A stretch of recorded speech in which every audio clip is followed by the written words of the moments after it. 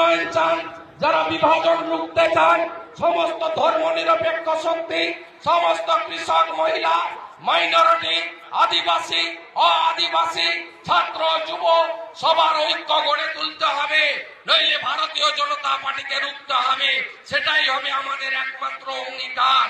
লড়াইটা মালদা জেলার পঞ্চায়েত ভোটের নির্বাচনী ফলে প্রমাণ হয়েছে, এই জেলাতে লড়াইটা তৃণমূল কংগ্রেসের সঙ্গে সাম্প্রদায়িক শক্তির কারা সাম্প্রদায়িক শক্তির সঙ্গে থাকবেন, তারা কালিয়াচকের আফরাজুল বা জম্মু কাশ্মীরের কাঠুয়ায় আসিফার মতো বাচ্চা মেয়ে, তার উপরে যে অত্যাচারেরা করেছে, তাদের সঙ্গে যারা থাকতে চান, যারা চান যে মালদাতে আরও দাঙ্গা হবে বিভাজন হবে, উন্নয়ন আটকে যাবে, গ্রাম পঞ্চায়েত অচল হবে, একশো দিনের কাজ বন্ধ হবে, বাংলা আবাস হবে না।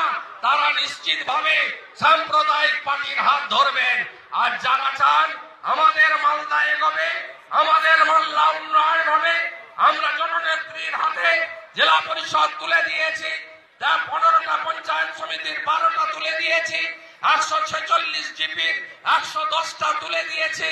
তারা সবাই মৌসুমের পথ অনুসরণ করে সাবিনা মুখার্জি, নিহার ঘোষ, দীপালি বিশ্বাসের পথ অনুসরণ করে তারা তৃণমূল কংগ্রেসে আসবেন। তৃণমূল কংগ্রেসকে হৃষ্ট, পুষ্ট করবেন। আমরা দিয়ে যেতে চাই ভারতীয় জনতা পার্টিকে। গতকাল কাঁথি আমার হোম টাউনে সভা হয়েছিল। আপনারা জানেন কোন রাজনৈতিক দল সভা যদি আটকায়, তাহলে নিশ্চয়ই সবার আগে তারা ফ্লাগ ফেস্টুন টাঙাবে, জমায়েত করবে। সভাতে আমরা কোনোভাবে বাধা দিইনি। আমরা ওই কালচারে বিশ্বাস করি না। আমাদের এলাকায় স্বাধীনতা আন্দোলন হয়েছে, তাম্রলিপ্ত জাতীয় সরকার হয়েছে, ক্ষুদিরামের জেলা, মাতঙ্গিনীর জেলা, লবণ সত্যাগ্রহের পিছামণি। আমরা সেই জেলার অধিবাসী যে মেদিনীপুরের ঐতিহ্য আছে কিন্তু আপনারা দেখলেন মিটিং শেষ করে ফেরার পথে তারা তৃণমূলের অফিসে আগুন জ্বালিয়েছে। তৃণমূলের লোকেদের ভেঙেছে এমনকি সরকারি গাড়ি। আমি যখন এমপি ছিলাম, তমলুকে একটা প্রতিবন্ধী স্কুলে বাস দিয়েছিলাম। বাসের গায়ে আমার নাম কেন লেখা আছে? সেই প্রতিবন্ধী দিব্যাঙ্গদের ধরেও পিটিয়েছে। আজকে ওখানে তৃণমূলের ধিক্কার মিছিল হচ্ছে। আর আগামী তিন তারিখে অমিত বাবুরা আটটা জেলার লোক নিয়ে মিটিং করেছে দক্ষিণবঙ্গের আর আমি দুটো বিধানসভার লোক নিয়ে এক লক্ষ লোকের সভা করে কাউন্টার করব। আর এটুকু আপনারা নিশ্চিত থাকবেন, আমরা পশ্চিমবঙ্গে বিয়াল্লিশটা আসনে মমতা ব্যানার্জির হাতে তুলে দেব কোন বিজেপির বন্ধু কোন কংগ্রেসের বন্ধু।